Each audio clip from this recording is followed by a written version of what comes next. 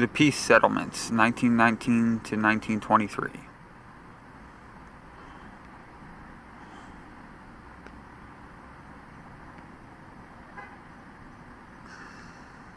The First World War was ended by dozens of treaties signed in the period 1919 to 23. Of these, the five chief documents were the five treaties of peace with the defeated powers named from uh, the sites in the neighborhood of Paris where they were signed. These were Versailles, 28th, 1919, Saint Germain with Austria, September 10th, 19, and then Neuilly, Neuilly with Bulgaria, November 27th, 19. Trianon with Hungary, June 4th, 1920. Uh, Sevres, Sevres, Turkey, August 20th, 1920. The last of these, the Treaty of Sevres with Turkey, was never ratified and was replaced by a new treaty signed at Lausanne in 1923 peace settlements made in this period were subject to vigorous and detailed criticism in the two decades 19 to 39. This criticism was as ardent the, from the victors as from the vanquished. Although this attack was largely aimed at the terms of the treaties, the real causes of that attack did not lie in these terms, which were neither unfair nor ruthless, and were far more lenient than any settlement which might have emerged from German victory, which created a new Europe, which was at least politically more just than uh, the Europe of uh, 1914. The cause of the discontent with the settlements of 1919 to 23 rests on the procedures which were used to make these settlements rather than on the terms of the settlements themselves.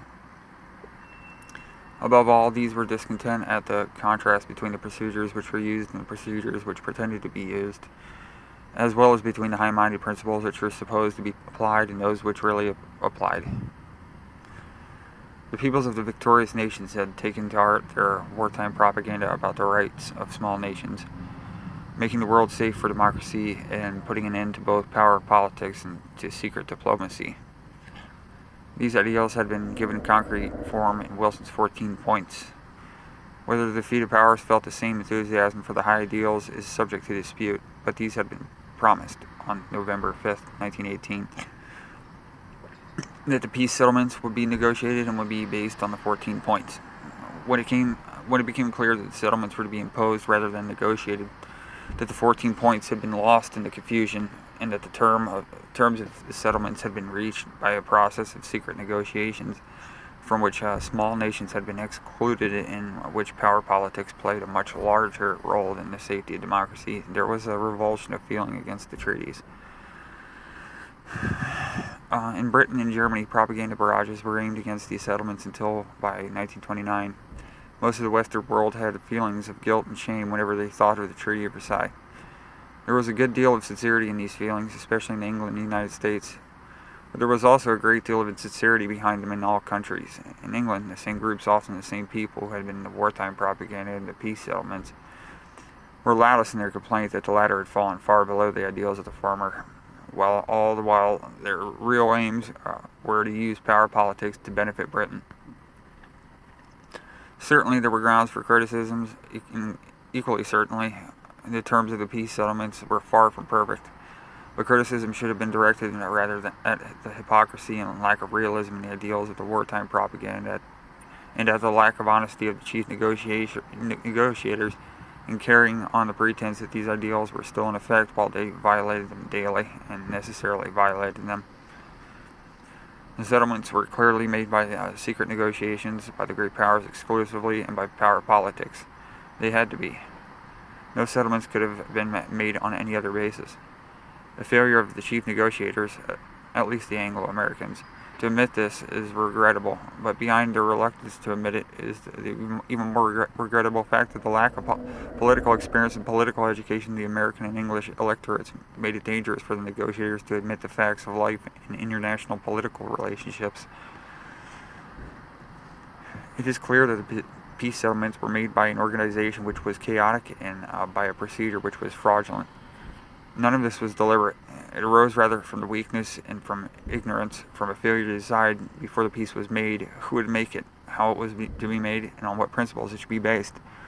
The normal way to make peace after a war in which the victors from a coalition uh, would be the victors to hold a conference, agree on the terms they hope to get from the defeated, then have a congress with these uh, latter uh, to impose these terms, either or without discussion and compromise. It was tacitly assumed in October and November 1918 that this method would be used in, to end the existing war. But this Congress, uh, but yeah, but this Congress method uh, could not be used in 1919 for several reasons. The members of the victorious coalition were some were so numerous, uh, 32 allied and associated powers, that they could have agreed on terms only slowly and after considerable preliminary organization. This preliminary organization never occurred, largely because President Wilson was too busy to participate in the process, was unwilling to delegate any real authority to others, and with relatively few intensely held ideas, like the League of Nations, democracy, and self determination, had no taste for the details of organization.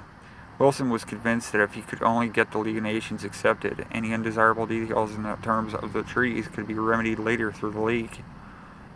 Lloyd George and Clemenceau uh, made use of this conviction to obtain numerous provisions in the terms which were undesirable to Wilson but highly desirable to them.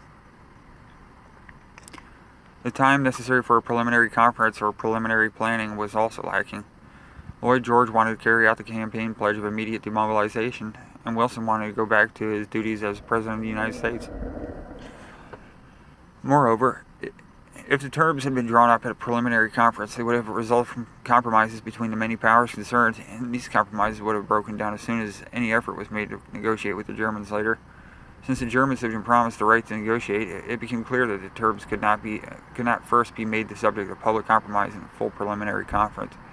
Unfortunately, by the time the victorious great powers realized all this and decided to make the terms by secret negotiations among themselves, invitations had already been sent to the, all the victorious powers to come to an inter-allied conference to make preliminary terms. As a solution to the embarrassing situation, peace was made on two levels. On one level, in the full glare of publicity, the Inter-Allied Conference became the plenary peace conference and with considerable fanfare did nothing. On the other level, the great powers worked out their peace terms in secret and, when they were ready, imposed them simultaneously on the conference and on the Germans. This had not been intended. In fact, it was not clear to anyone just what was being done. As late as February 22nd, Balfour, the British Foreign Secretary, still believed they were working on preliminary peace terms, and German and the Germans believed the same on April 15th. While the great powers were negotiating a secret and full conference, uh, in the secret, uh, while the great powers were negotiating in secret, the full conference met several times under rigid rules designed to prevent action. These sessions were governed by the iron hand of Clemenceau, who heard the motions he wanted, jammed through those he desired, and answered protests by outright threats to make peace without any consultation with the lesser powers at all, and dark references to the millions of men and great powers the great powers had under arms. On February 14th, the conference was given the draft of the Covenant of the League of Nations, and in, on April 11th, the draft of the International Labor, Confer- Labor Office. Both were accepted on April 28th. On May 6th came the text of the Treaty of Versailles.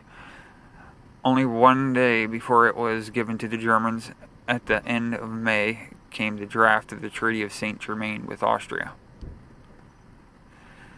While this futile show was going on in public, the great powers were making peace in secret.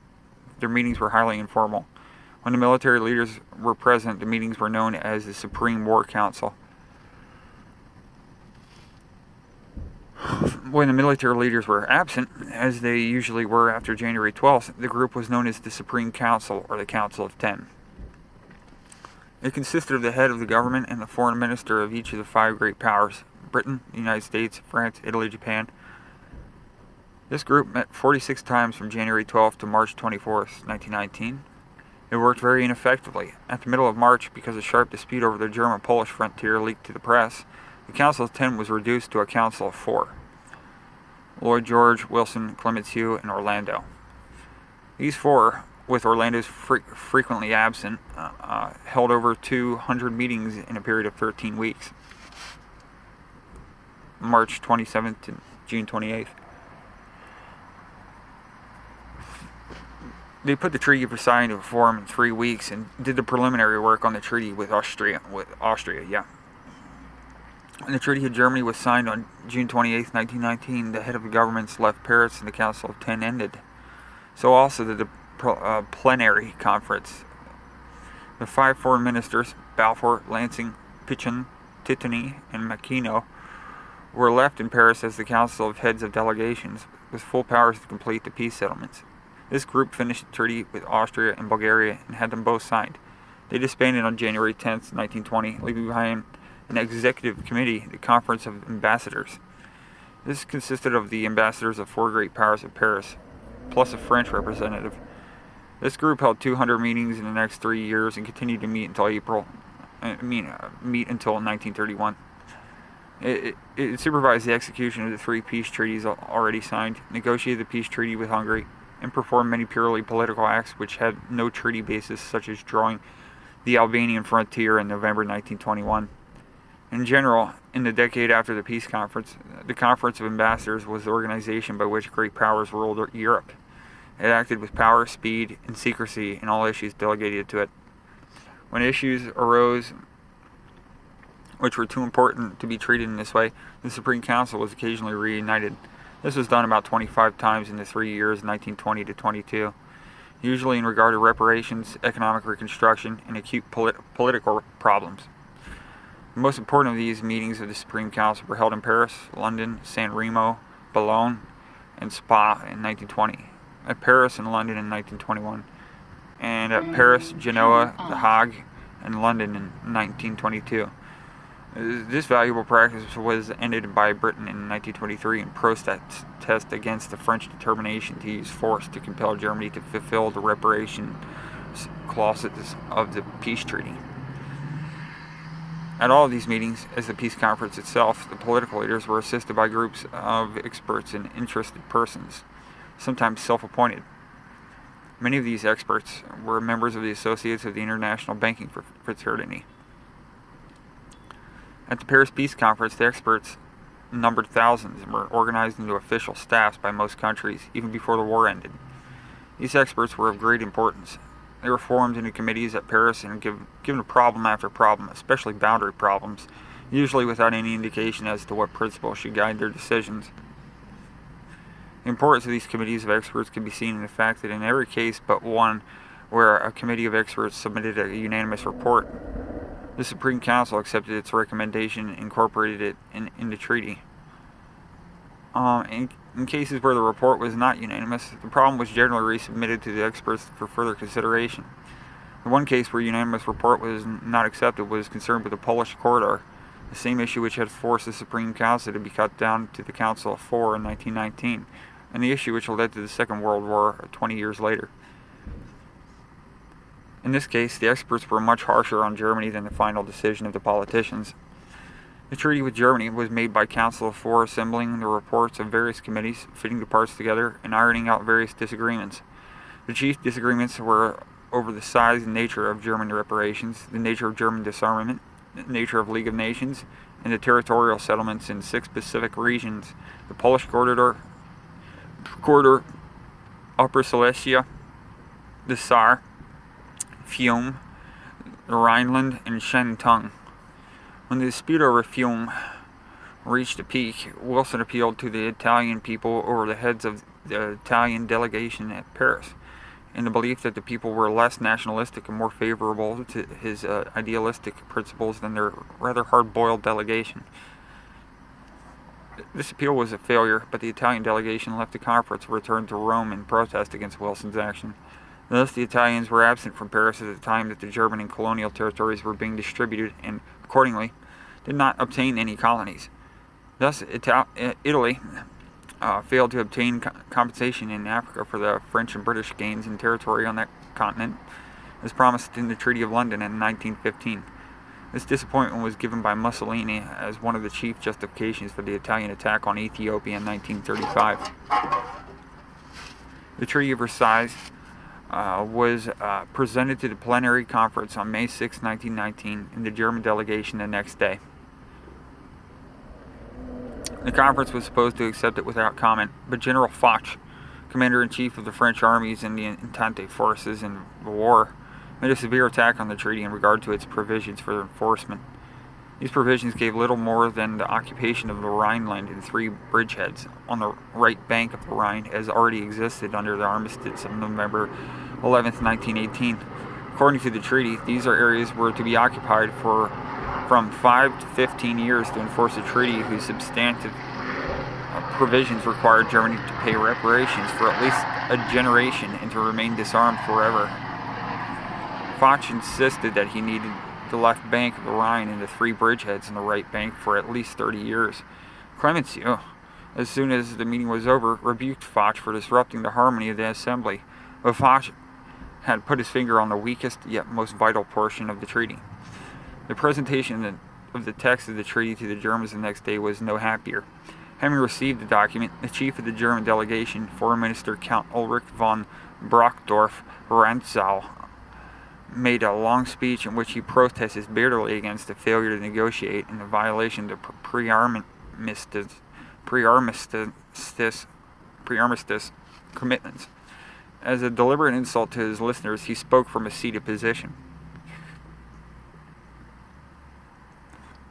The German delegation sent the victorious power short note, short notes of, of detailed criticism during May and exhaustive counter proposals on May 29th.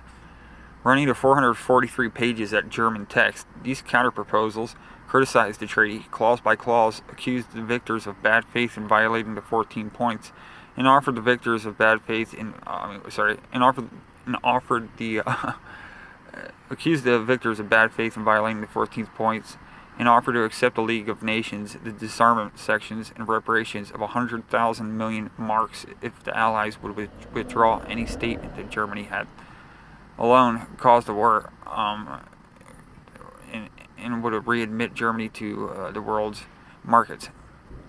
Most of the territorial changes were rejected except where they uh, could be shown to be based on self-determination, thus adopting Wilson's point of view. These proposals led to one of the most severe crises of conference as Lloyd George, who had been re-elected in December on his promise to the British people to squeeze Germany dry and had done his share in this direction from December to May, now began to fear that Germany would refuse to sign and adopt a passive resistance, which would require the Allies to use force. Since the British armies were being disbanded, such a need of force would fall largely on the French and would be highly welcome to people like Foch who favored duress against Germany. Lloyd George was afraid that any occupation of Germany by French armies would lead to a complete French hegemony on the continent of Europe and that these occupation forces might never be withdrawn, having achieved with British connivance what Britain had fought so vigorous, vigorously to prevent at the time of Louis XIV and uh, Napoleon.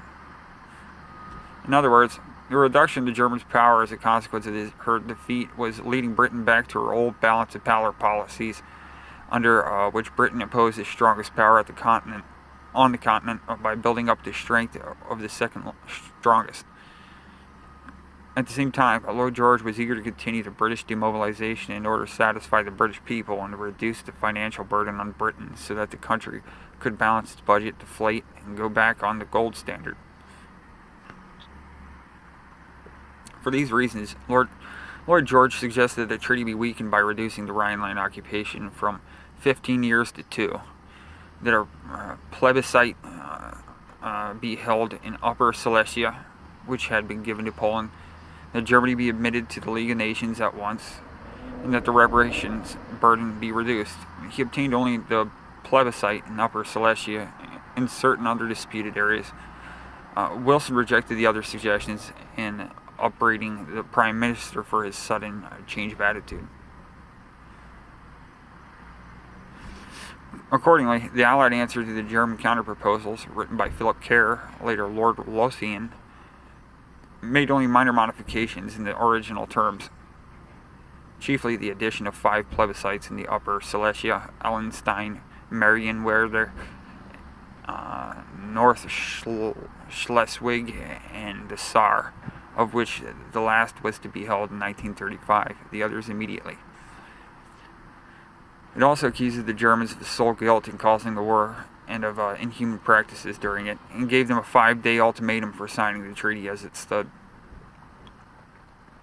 The German delegation at once returned to Germany and recommended a refusal to sign. The cabinet resigned rather than, uh, rather than sign, but a new cabinet was formed of Catholics and Socialists. Both of these groups were fearful that an Allied invasion of Germany would lead to chaos and confusion, which would encourage Bolshevism in the East and separatism in the West. They voted to sign if the articles on war guilt and war crimes could be struck from the treaty. When the Allies refused these concessions, the Catholic Center Party voted 64 to 14 not to sign. At the critical moment, when rejection seemed certain, the High Command of the German Army, through Chief of Staff Wilhelm Groener, ordered the cabinet to sign it in order to prevent a military occupation of Germany. On June 28, 1919, exactly five years after the assassination of Sarajevo in the Hall of the Mirrors at Versailles, where the German Empire had been proclaimed in 1871, the Treaty of Versailles was signed by all delegations except the Chinese. The latter refused in protest against the disposition of the pre-war German concessions in Shantung.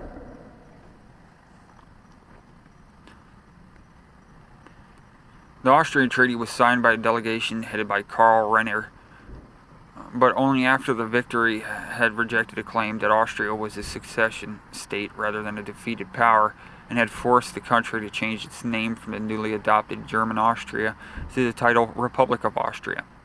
The new country was forbidden to make any movement toward any union with Germany without the approval of the League of Nations. The Treaty of Neuilly was signed by a single Bulgarian delegate, the Peasants' Party leader Alexander Stambolijski. By this agreement, Bulgaria lost western Thrace, her outlet to the Aegean, which had been annexed from Turkey in 1912, as well as certain mountain passes in the west which were ceded from Bulgaria to Yugoslavia for strategic reasons. The Treaty of Trianon, signed in 1920, was the most severe of the peace treaties and the most rigidly enforced. For these and other reasons, Hungary was the most active political force for revision of treaties during the period 1924 to 34 and was encouraged in this attitude by Italy from 1927 uh, to 34 in hope that there might be profitable fishing in such troubled waters. Hungary had good reason to be discontented. The fall of the Habsburg dynasty in 1918 and the uprisings of the subject peoples of Hungary, like the Poles, Slovaks, Romanians, and Croatians, brought to power in Budapest a liberal government under Count Michael Károlyi. This government was at once threatened by a Bolshevik uprising under Béla Kun in order to protect itself, the Károlyi government asked for an Allied occupation force until after the election scheduled for April 1919. This request was refused by General Franchet de d'Espèrey under the influence of a reactionary Hungarian politician, Count Stefan Bethlen. The Károlyi regime fell before the attacks of Béla Kun and the Romanians in consequence of a lack of support from the West. After Béla Kun's reign of red terrorism, which lasted six months, March through August 1920, and his flight before a Romanian invasion of Hungary, the reactionaries came to power with Admiral Miklos Horthy as regent and head of state 1920 to 44, and Count Bethlen as prime minister 1921 to 1931.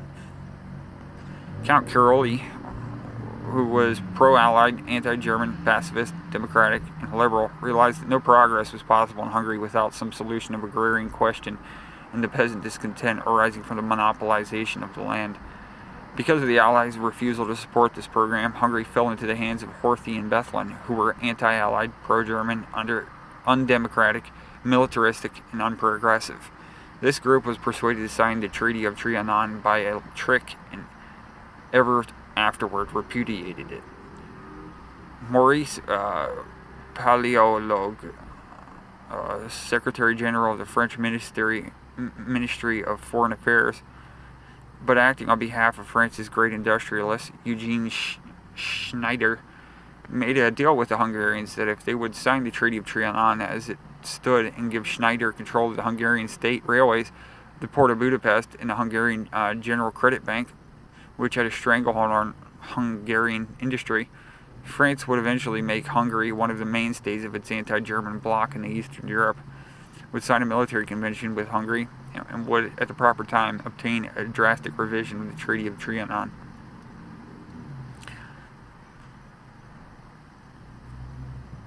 The Hungarian side of this complex deal was largely carried out, but British and Italian objections to the extension of French economic control into Central Europe disrupted the negotiations and prevented Hungary from obtaining its reward.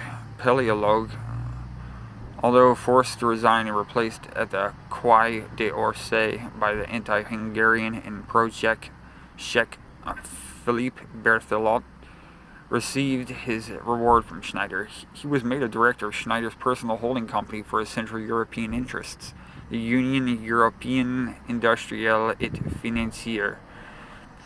The Treaty of Sèvres was uh, Tur- Sèvres with Turkey was the last one made, and the only one never ratified.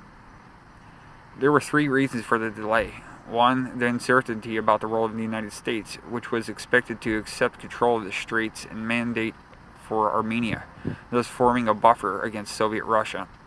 Two, the instability of the Turkish government, which was treated, which was threatened by a nationalist uprising led to, led by Mustafa Kemal. And three, the scandal caused by the Bolshevik publication of the secret treaties regarding the Ottoman Empire, since these treaties contrasted so sharply with the expressed war aims of the Allies. The news uh, that the United States refused to participate in the Erie settlement made it possible to draw up a treaty. This was begun by the Supreme Council at its London conference on February 20th, 1920, excuse me, and continued at San Remo in, in April. It was signed by the Sultan's governor, government on, on August 20th, 1920, but the nationalists under Mustafa Kemal refused to accept it and set up an insurgent government at Ankara. The Greeks and Italians, with Allied support, invaded Turkey and attempted to force the treaty on the nationalists, but they were much weakened by the dissension uh, behind the facade of Entente solidarity. The French believed that greater economic concessions would be obtained from the Kemalist government, while the British felt that richer prospects were to be obtained from the Sultan.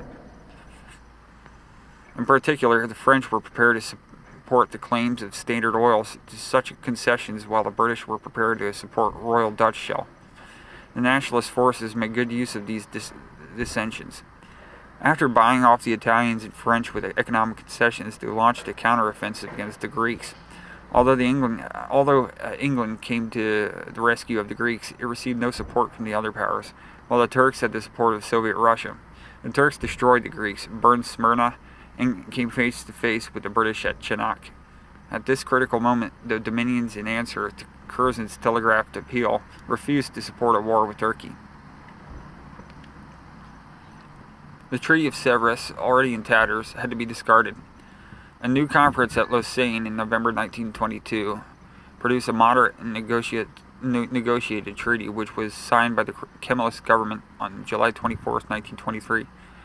This act ended, in a formal way, the First World War. It also took a most vital step toward establishing a new Turkey, which would serve as powerful force for peace and stability in the Near East. The decline of Turkey, which had continued for 400 years, was finally ended.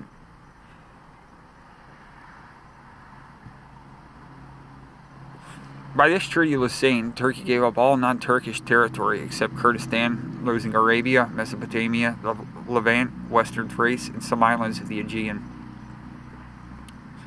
The, cap the, capitu the capitulations were abolished in return for a promise of judicial reform.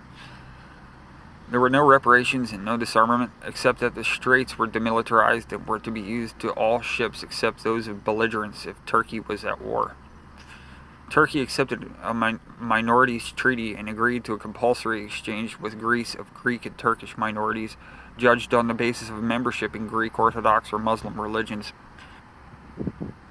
Under this last provision, over 1,250,000 Greeks were removed from Turkey by 1930.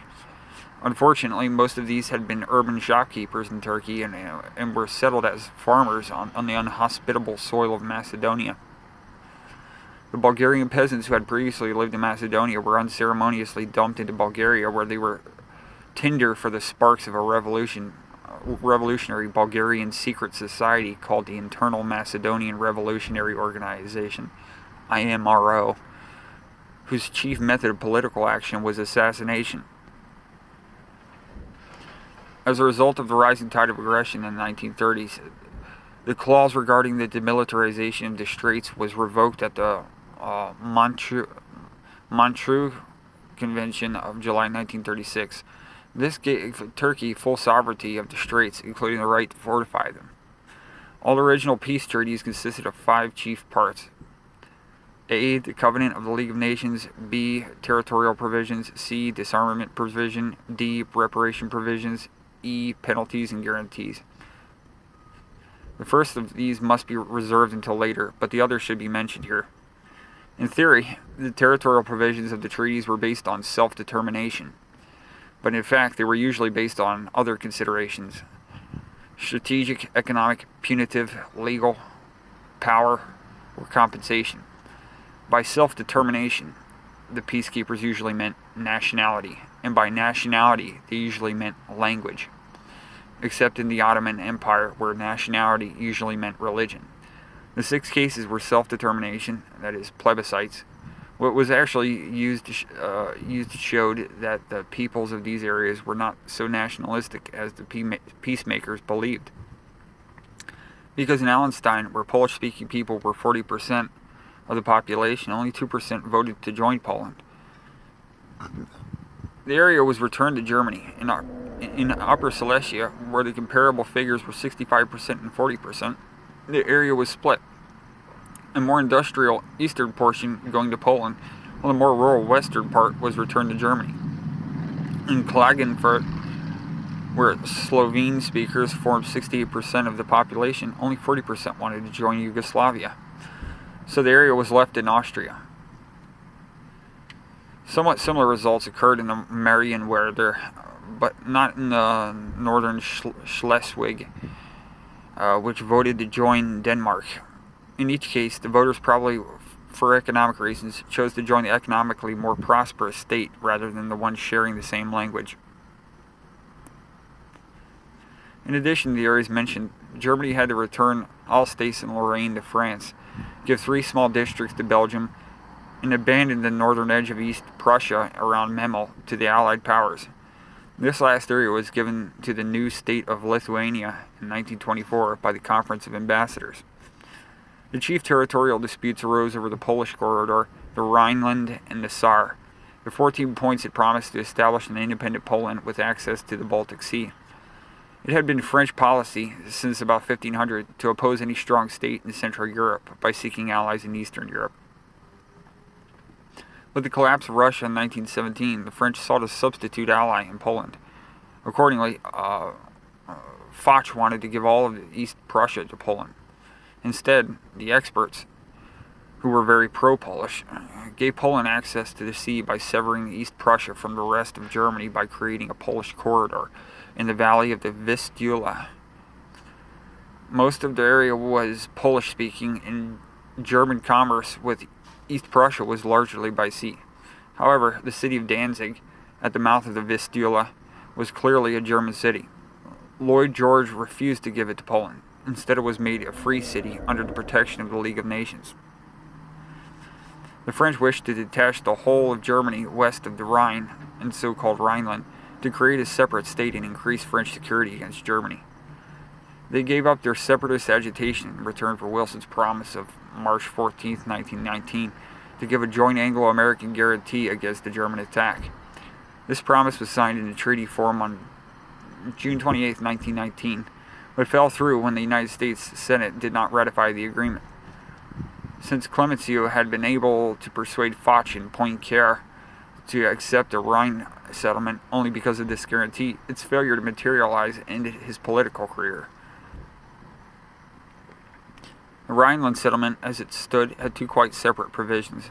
On the one hand, the Rhineland and three bridgeheads on the right bank of the Rhine were to be occupied by Allied troops for 5 to 15 years. On the other hand, the Rhineland in the zone 50 kilometers uh, wide along the right bank were to be uh, permanently demilitar demilitarized and any violation this could be regarded as hostile, a hostile act by the signers of the treaty. This meant that any German troops or fortifications were excluded from this area forever. This was the most important clause of the Treaty of Versailles. So long as it remained in effect, the great industrial region of the Ruhr on the right bank of the Rhine, the economic backbone of Germany's ability to wage warfare, was exposed to a quick French military thrust from the west, and Germany could not threaten France or move eastward against uh, Czechoslovakia or Poland if France objected. Of these two clauses, the military occupation of Rhineland and the bridgeheads uh, was ended in 1930, five years ahead of the schedule. This made it possible for Hitler to destroy the second provision, the demilitarization of Western Germany, by remilitarizing the area in March 1936.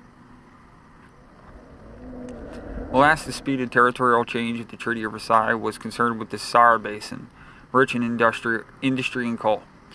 Although its population was clearly German, the French claimed most of it in 1919 on the grounds that two-thirds of it had been inside the French frontiers of 1814, and that they should obtain the coal mines as compensation for the French mines destroyed by the Germans in 1918. They didn't get the mines, but the area was separated politically from both countries to be ruled by the League of Nations for 15 years and then given a plebiscite. When the plebiscite was held in 1935, after an admirable admirable, yeah, uh, league administration, only about 2,000 out of about 528,000 voted to join France, while about 90% wished to join Germany, the remainder indicating their desire to continue under League rule. The Germans, as a result of this vote, agreed to buy back the coal mines from France for 900 million francs, payable in coal over a five-year period. The territorial provisions of the Treaty of Saint Germain and Trianon were such as to destroy completely the Austro-Hungarian Empire. Austria was reduced from 115,000 square miles with 30 million inhabitants to 32,000 square miles with 6.5 million inhabitants. To uh, Czechoslovakia went Bohemia, Moravia, parts of Lower Austria, and Austrian Silesia. To Yugoslavia went Bosnia, Herzegovina, and Dalmatia. To Romania went Bukovina. To Italy went South Tyrol, Trentino, Istria, and an extensive area north of the Adriatic, including Trieste. The Treaty of Trianon reduced Hungary from 125,000 square miles with 21 million inhabitants to 35,000 square miles with 8 million inhabitants. To Czechoslovakia went Slovakia and Ruthenia to Romania went Transylvania, part of the Hungarian plain, and most of the Banat. To Yugoslavia went to the rest of the Banat, Croatia, Slavonia, and some other districts. The Treaty of Peace set the boundaries of the defeated states, but not those of the new states. These latter were fixed by a number of treaties made in the years following 1918. The process led to disputes and even to violent clashes of arms and some issues are still subjects of discord to the present time. The most violent controversies arose in regard to the boundaries of Poland. Of these, only that with Germany was set by the Treaty of Versailles. The Poles refused to accept their other frontiers as suggested by the Allies at Paris, and by 1920 were at war with Lithuania over Vilna, with Russia over the eastern border, with the Ukrainians over Galicia, and with Czechoslovakia over Teschen. The struggle over Vilna began in 1919 when the Poles took the district from the Russians, but soon lost it again. The Russians yielded it to the Lithuanians in 1920, and this was accepted by Poland, but within three months it was seized by Polish freebooters. A plebiscite, ordered by the League of Nations, was held in January 20, 1922 under Polish control and gave a Polish majority. The Lithuanians refused to accept the validity of this vote or the decision of the Conference of Ambassadors of March 1923, giving the area to Poland. Instead, Lithuania continued to consider itself at war with Poland until December 1927. Poland did not fare so well at the other end of its frontier. Their, mighty, their fighting broke out between uh, Czech and Polish forces over Teschen in January 1919. The Conference of Ambassadors divided the area between the two claimants, but gave the valuable coal mines to Czechoslovakia, July 1920. Poland's eastern frontier was settled only after a bloody war with the Soviet Union. The Supreme Council of December 1990 had laid down the so-called Curzon Line as the eastern boundary of Polish administration. But within six months, the Polish armies had crossed this and advanced beyond Kiev. The Russian counterattack soon drove the Poles back. The Polish territory was invaded in its turn. The Poles appealed in panic to the Supreme Council, which was reluctant to intervene. The French, however, did not hesitate and sent General Weygand with his supplies to defend Warsaw. The Russian offensive was broken on the Vistula, and peace negotiations began. The final settlement signed at Riga in March 1921 gave Poland a frontier 150 miles farther east than the Curzon Line and brought into Poland many non-Polish peoples, including 1 million white Russians and 4 million Ukrainians. Romania also had a dispute with Russia arising from the Romanian occupation of Bessarabia in 1918. In October 1920, the Conference of Ambassadors recognized Bessarabia as part of Romania. Russia pro protested, and the United States refused to accept the transfer. In view of these disturbances, uh, Poland and Romania signed a defensive alliance against Russia in March 1921. The most important dispute of this kind arose over the disposition of, of Fiume. This problem was acute, acute because one of the great powers was involved. The Italians had yielded Fiume to Yugoslavia in the Treaty of London of 1915 and had promised in November 1918 to draw the Italian-Yugoslav boundary on, on lines of nationality. Thus, they had little claim to Fiume. Nevertheless, at Paris they insisted on it for political and economic reasons having just excluded the Habsburg Empire from the Adriatic Sea and not wishing to see any new power rise in its place, they did all they could to hamper Yugoslavia and to curtail its access to the Adriatic. Moreover, the Italian acquisition of Trieste gave them a great seaport with no future, since it was separated by a political boundary from the hinterland whence it could draw its trade. To protect Trieste, Italy wanted to control all the possible competing ports in the area the city of Fiume itself was largely Italian, but the suburbs and surrounding countryside were overwhelmingly Slav. The experts at Paris wished to give Italy neither Fiume nor Dalmatia, but Colonel House tried to overrule the experts in order to obtain Italian support for the League of Nations in return. Wilson's over, Wilson overruled House and issued his uh, and, and Wilson overruled House and issued his famous appeal to the Italian people, which resulted in the temporary withdrawal of Italian delegation from Paris. After the return, the issue was left unsettled. In September 1919, an erratic Italian poet, Gabriele d'Annunzio, with a band of freebooters, seized Fiume and set up an independent government on a comic opera basis. The dispute between Italy and uh, Yugoslavia continued with decreasing bitterness until November 1920, when they signed the Treaty of Rapallo, dividing the area but leaving Fiume itself a free city. This settlement was not satisfactory. A group of fascists from Italy, where this party was not yet in office, seized the city in March 1922 and were removed by Italian army three weeks later. The problem was finally settled by the Treaty of Rome of January 1924, by which Fiume was granted to Italy, but the suburb of Port Baros and 50-year lease on one of the three harbor basins went to Yugoslavia. These territorial disputes are of importance because they continue to lacerate relationships between neighboring states until well into the period of World War II and even later. The names of Fiume, Thrace, Bessarabia, Epirus, Transylvania, Memel, Vilna, Teschen, and Danzig, and Macedonia were still echoing as battle cries of overheated nationalists 20 years after the peace conference assembled at Paris. The work of that conference has undoubtedly reduced the numbers of minority peoples, but this had only served to increase the intensity of feeling of the minorities remaining.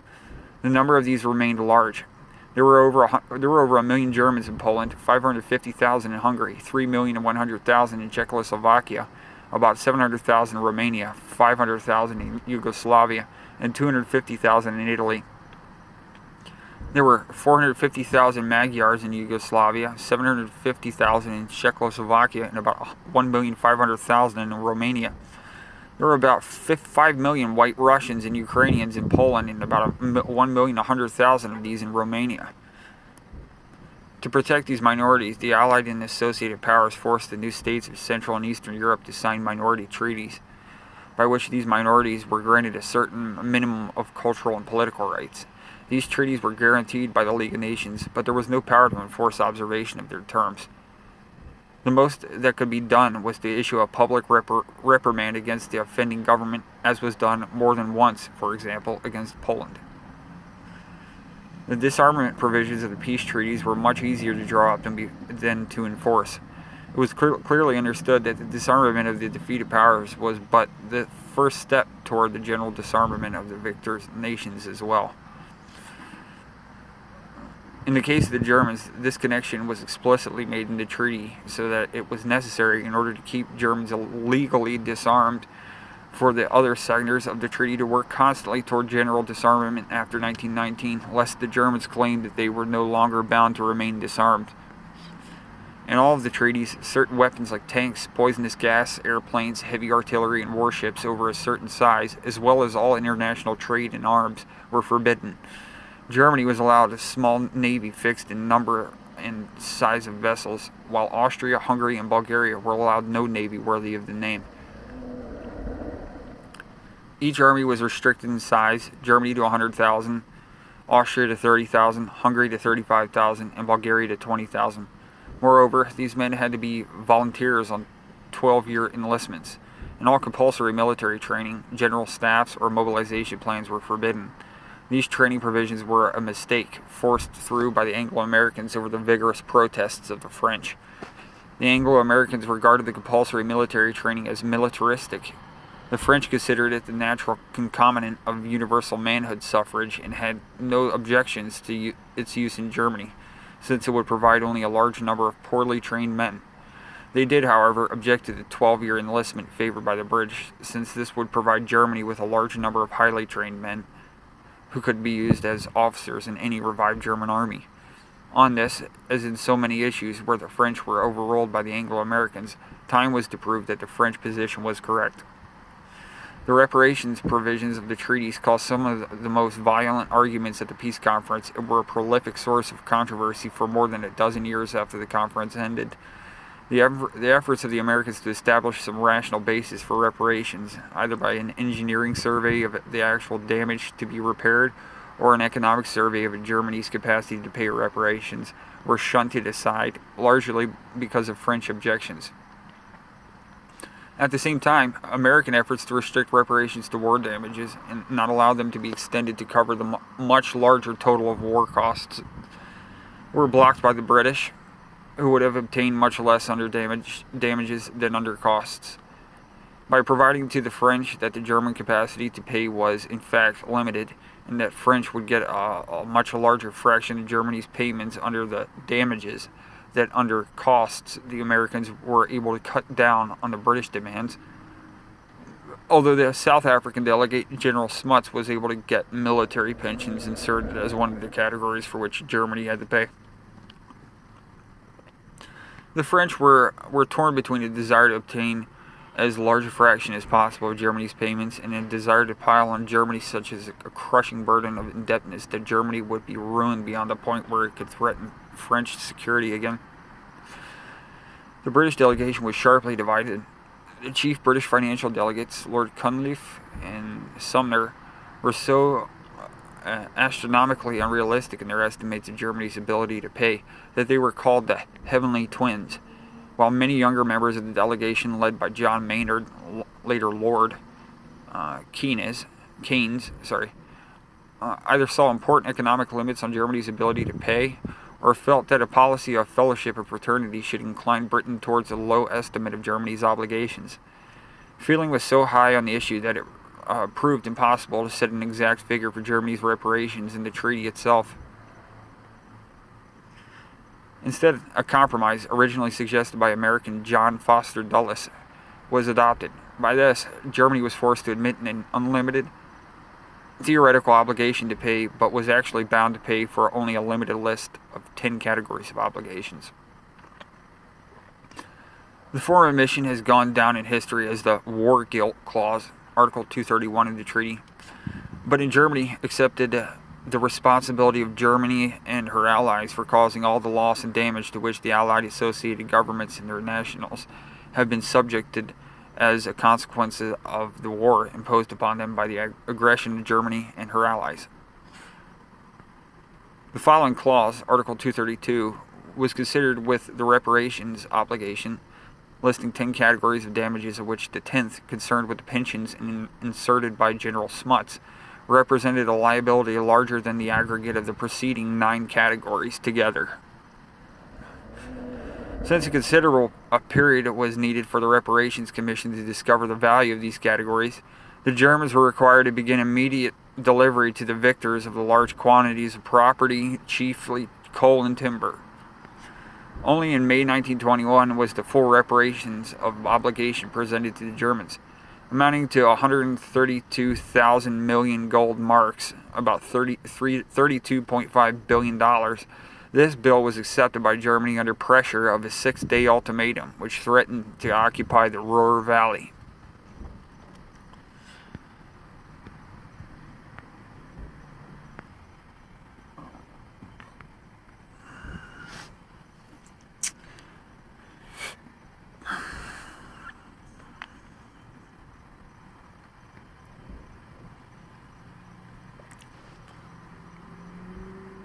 The reparations clauses of the other treaties were of little significance. Austria was unable to pay any reparations because of the weakened economic condition of their stump of the Habsburg Empire. Bul- Bulgaria and Hungary paid only small fractions of their obligations before all the reparations were wiped out on the financial debacle of 1931 to 32. The treaties made at Paris had no enforcement provisions worthy of the name except for the high inadequate, highly inadequate Rhineland clauses, which we have already mentioned. It is quite clear that the defeated powers could be made to fulfill the provisions of these treaties only if the coalition which had won the war were to continue to work as a unit. This did not occur. The United States was left. Uh, the United States left the coalition as a result of the Republican victory over Wilson in the congressional elections of 1918 and the presidential election of 1920. Italy was alienated by the failure of the treaty to satisfy her ambitions in the Mediterranean and Africa. But these were only details. If the Anglo-French Entente had been maintained, the treaties could have been enforced without either the United States or Italy. It was not maintained. Britain and France saw the world from a points of view so different that it was almost impossible to believe that they were looking at the same world. The reason for this was simple, although it may it had many complex consequences and implications. Britain after 1918 uh, felt secure, while France felt completely insecure in the face of Germany. As a consequence of the war, even before the Treaty of Versailles was signed, uh, Britain had obtained all her chief ambitions in respect to Germany. The German Navy was at the bottom of the Scapa flow, scuttled by the Germans themselves. The German merchant fleet was scattered, captured, and destroyed. The German colonial rivalry was ended and its areas occupied. The German commercial rivalry was crippled by the loss of its uh, patents and industrial techniques, the destruction of all its commercial outlets and banking connections throughout the world, and the loss of its uh, rapidly growing pre war markets. Britain had obtained these aims by December 1918 and needed no treaty to retain them. France, on the other hand, uh, had not obtained the one thing it wanted security. In population and industrial strength, uh, Germany was far stronger than France and still growing. It was evident that France had been able to defeat Germany only by a narrow margin in 1914 18, and only because of the help of Britain, Russia, Italy, Belgium, and the United States. Uh, uh France had no guarantee that all these, or even any of them, would be at, at its side in any future war with Germany. In fact, it was quite, quite clear that Russia and Italy would not be at its side. This, the, the refusal of the United States and Britain to give any guarantee to France against German aggression made it dubious that they would be ready to help it, uh, either. Even if they were prepared to come to the rescue ultimately, there was no guarantee that France would be able to withstand the initial German assault in any future war if she had withstood by the barest margin the assault of 1914. even if it could be withstood and Britain ultimately came to the rescue, France, w- France would have to fight once again, as in the period 1914 18, with the richest portion of France under enemy military occupation. In such circumstances, uh, what guarantee would there be even if the ult- ultimate success? Doubts of this kind gave France a feeling of insecurity which practically became a psychosis, especially as France found its efforts to increase its security uh, blocked at every turn by Britain. It seemed to France that the Treaty of Versailles, which had given Britain everything it want it could want from Germany, did not give France the one thing it wanted. As a result, it, it proved impossible to obtain any solution to the other uh, chief problems of international politics in the period 1919-29. Of these three problems of security, disarmament, and reparations, uh, we now we now turn.